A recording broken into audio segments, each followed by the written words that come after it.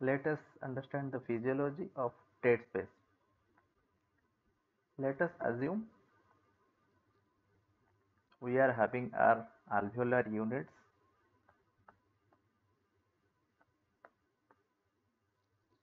in which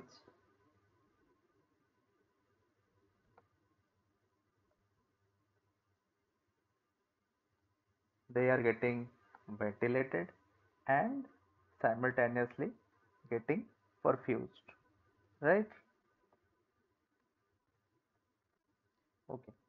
So let us consider among the all these three units if it happens by any reason some region is getting ventilated but not getting perfused let us consider in unit C in the unit C of alveoli if there is some blockage let us consider there is some blockage in the circulation.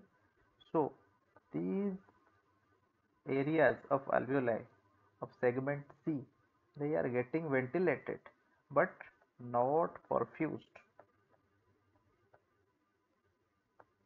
So this area contributes to alveolar dead space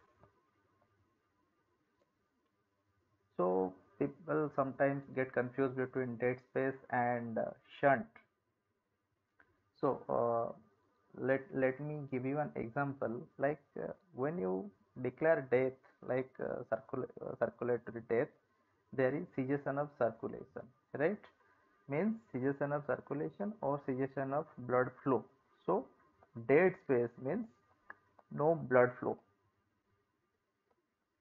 or no perfusion with normal ventilation. Okay? And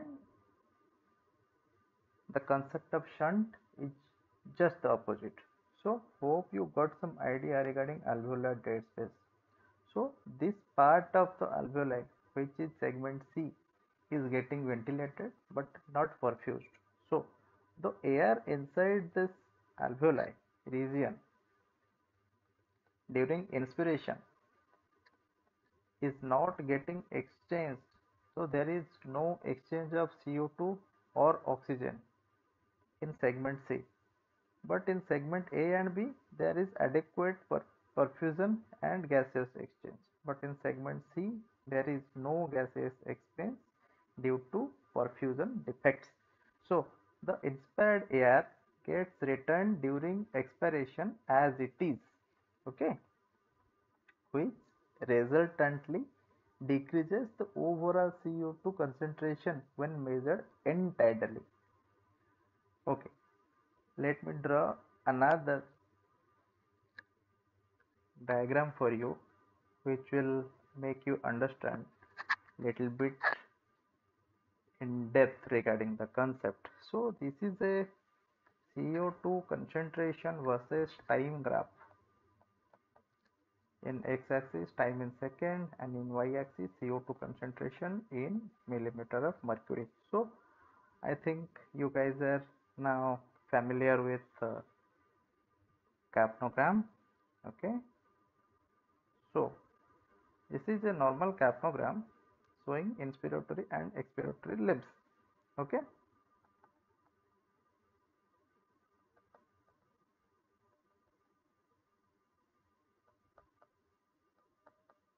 middle part is expiratory component. Got it? Okay.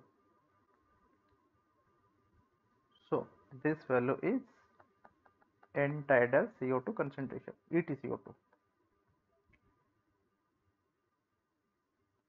when partial pressure of carbon dioxide measured in arterial sample its value lies above the EtCO2 range. It is PaCO2 partial pressure of carbon dioxide in arterial blood sample.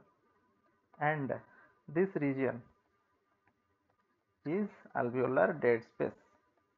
So the alveolar dead space contributes to the gradient.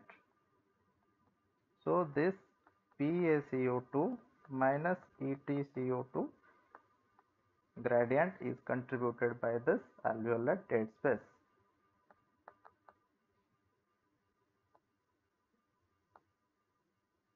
Hope you are clear about the concept. Okay. So, what is the normal value of the gradient? Generally, in healthy individuals, this gradient ranges from 5 to 10 millimeter of mercury, right? Okay. So, what is the significance of this gradient? So, when there is any rise in dead space, for example, due to acute pulmonary embolism or fat embolism or due to sudden onset hypotension or hypovolemia or cardiac arrest. There is transient rise in dead space and the alveolar uh, and the PaCO2 EtCO2 gradient increases. This amount this uh, value increases more beyond 10 12 or 14 so you can assume the underlying clinical scenarios going on by calculating the gradient in your clinical practice. Okay so let me know in the comment section what is the principle of CO2 measurement using capnography or capnometry. Keep learning. Thank you.